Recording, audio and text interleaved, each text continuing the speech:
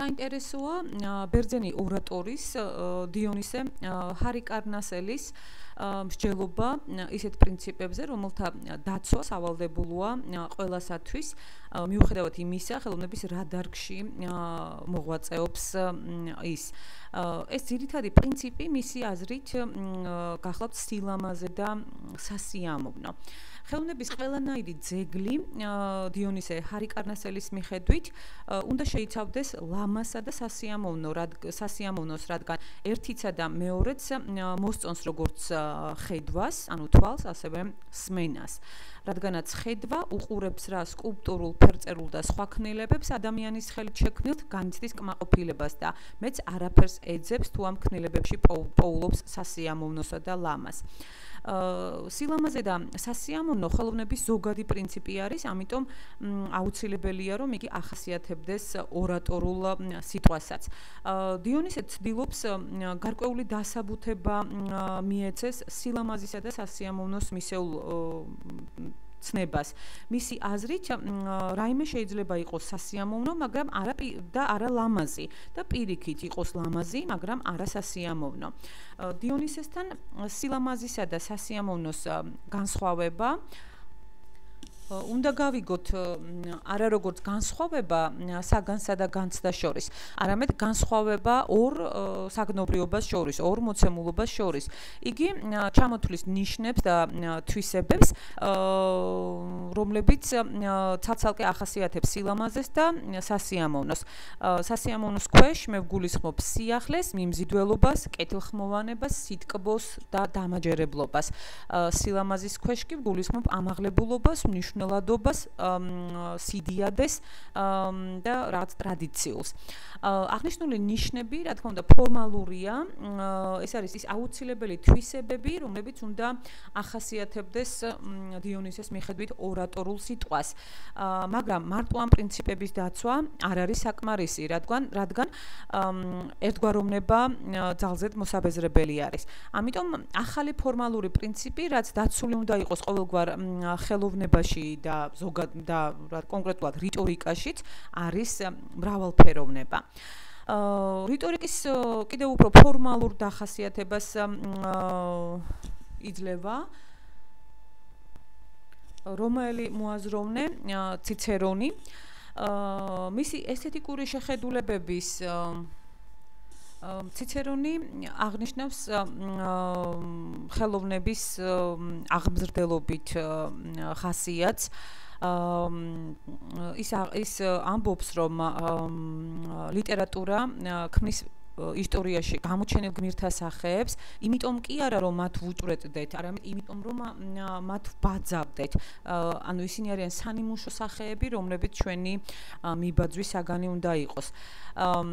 თუ მხატვრული ლიტერატურით გატაცებას სარგებლობა არ მოაქვს, თუ იგი ხელს არ უწყობს სულის მაღალი თვისებების შეთვისებასა და განვითარებას და მისი შედეგი მხოლოდ და მხოლოდ სიამოვნება, მაშინ ციცერონის მიხედვით სულის ეს დასვენება უნდა ჩავთვალოთ უაღრესად კულტურულად, უაღრესად ღირსეულად.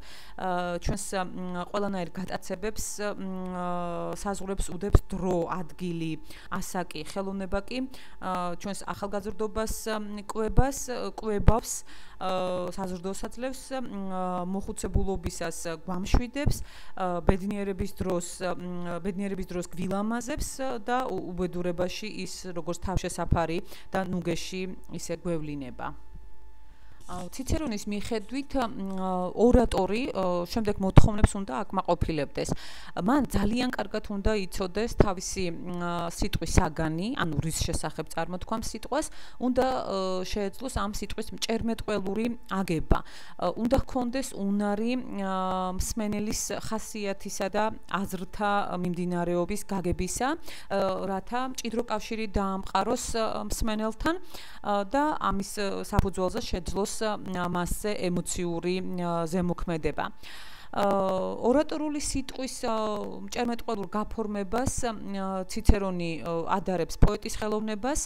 იგი ამბობს, რომ პოეტი ძალიან ახლოსა ორატორთან, ოღონდ პოეტი რამდენადმე უფრო დაკავშირებულია რიტმთან, უფრო თავისუფლად ირჩევს სიტყვებს, მაგრამ სიტყვის შემკობის მრავალი ხერხის მიხედვით ისინი მოკავშირენი და თითქმის თანაბარნი არიანო.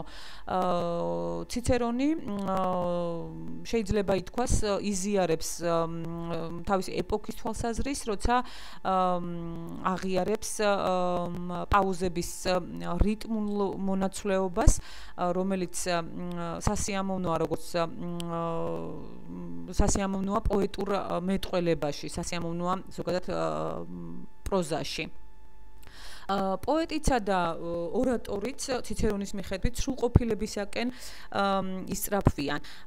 ისინი რაიმე კონკრეტულ ნიმუშებს კი არ უნდა მისდევდნენ, არა არამედ ზოგად ამაღლებულ იდეას, რომელიც მხოლოდ სულში არსებობს.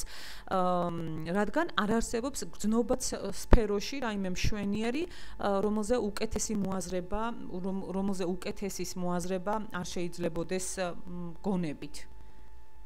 呃 მასშტაბამდე ციცერონი ხელოვნების სინამდვილესთან მხოლოდ ბაძვითი დამოკიდებულებით არ კმაყოფილდება. ის ამბობს, რომ შემოქმედების სულიერი საწყისი უნდა იქნას აღმოჩენილი და ამ საწყისისადმი ბაძვა უნდა იყოს პოეტის მისწრაფება და ამ თვალსაზრისით ის თავისი ეპოქის თანამოაზრეებს, მოაზროვნეებზე უფრო მაღლა დგას. ციცერონის ასე ვთქვათ სიტყვები ერთ-ერთი საუკეთესო ნიმუშები გახლავთ ორატორული ხელოვნებისა. ახლა კი განვიხილოთ დიონისე ლონგინეს ტრაქტატი ამაღლებულის შესახებ. ეს არის პირველი დოკუმენტი, რომელიც ესეთიკის ისტორიას გააჩნია კატეგორიის ამაღლებულის შესახებ. კლევარების ინტერესს იწვევს აგრეთვე იმის გამორკვევა ამ ტრაქტატში ლონგინი ამაღლებულს როგორც ესთეტიკურ კატეგორიას ისე განიხილავს თუ იგი მხოლოდ რიტორიკული სიტყვის ამაღლებულობის შესახებ მსჯელობს. უნდა ითქვას რომ ლონგინის ტრაქტატის ამოცანას ამაღლებული სიტყვის თავისებურებათა გამოკვლევა წარმოადგენს, მაგრამ ზოგჯერ თავისი დებულებების საილუსტრაციოდ და განსამარტავად ბუნებაში ამაღლებულის დახასიათებასაც გვთავაზობს. უნდა ვთქვათ ისიც, რომ ტრაქტატში არ არის ნაცვლად გამოკვეთილი ზოგადად ამაღლებულის ცნება. ლონგინის ტრაქტატის ძირითადი ღირსება ისაა რომ აქ მთელი სიმახვილით არის გარკვეული რიტორიკული სიტყვის ფორმალური მხარისა და შინაარსის ურთიერთობა. ტრაქტატის დასაწყისში ლონგინი აყალიბებს თუ რა არის მისი გამოკვლევის საგანი. და რაღაც ანუ რა არის მისი გამოკვლევის საგანი და იწყებს ზოგადად კითხვის დასმას თუ რაში მდგომარეობს ამაღლებულის ბუნება.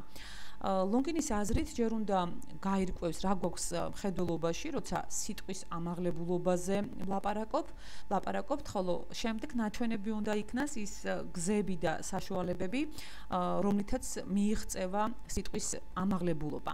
მას შასე, რა არის ამაღლებული? ამაღლებული არის სიტყვის სიდიადე და აღმატებულობა, რომელსაც შეუძლია გაიტაცოს, აღაფრთოვანოს, განაცვიფროს მსმენელი. მასშტაბი ამაღლებული ეს არის სიტყვის ისთვისება, რაც მას განსაკუთრებულ შთამბეჭდავად, აღმართოვანებლად აქცევს. ამაღლებულის სუბიექტური განცდა არის მოწონება, განცვიფრება. ესე იგი, სიტყვა, რომელიც ისეთვისებას ფლობს, რომელიც მსმენელის მოწონებასა და განცვიფრებას იწვევს, არის უკვე ამაღლებული. ლონგინის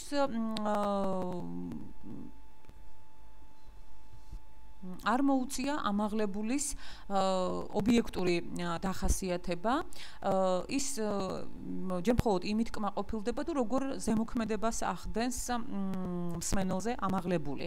ადამიანის სული მაღლდება ჭეშმარიტი ამაღლებულისაგან.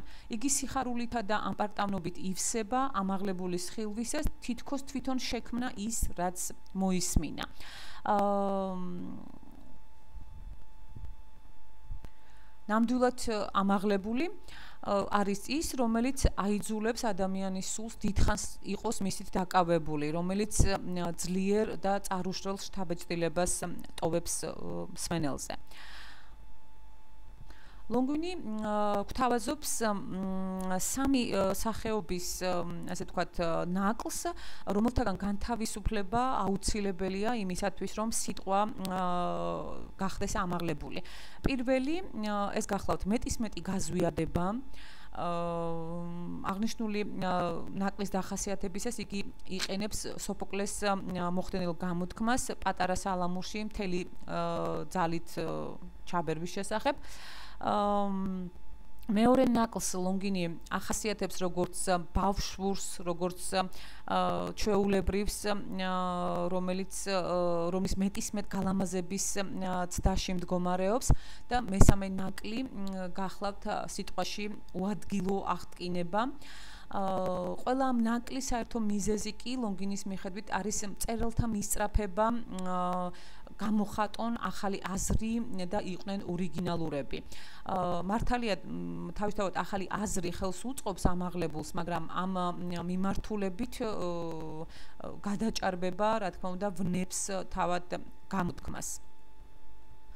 ამის შემდეგ ლონგინი გვთავაზობს იმ გზებს, საშუალებებს, რომელიც რომლითაც ჩვენ შეგვიძლია ამაღლებული შევქმნათ.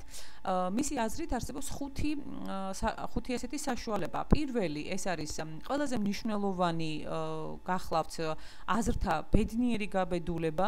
მეორე ძლიერი აღტაცებული ვნება აუცილებელი არის.